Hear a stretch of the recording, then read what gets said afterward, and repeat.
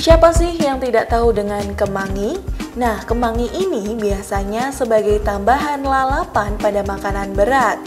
Meskipun terlihat seperti rumput, namun daun kemangi ini mempunyai banyak manfaat untuk tubuh kita nih sobat sehat.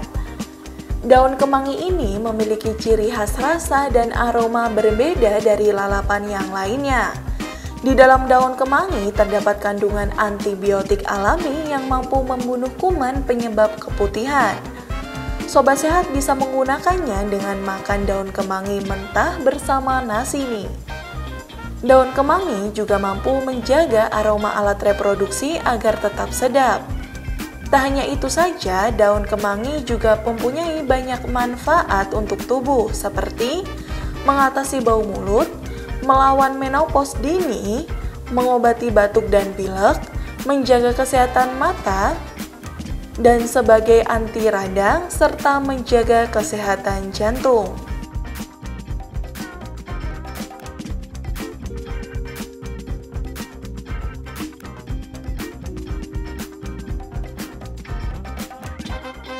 Terima kasih sudah nonton. Jangan lupa like, subscribe, dan share ya.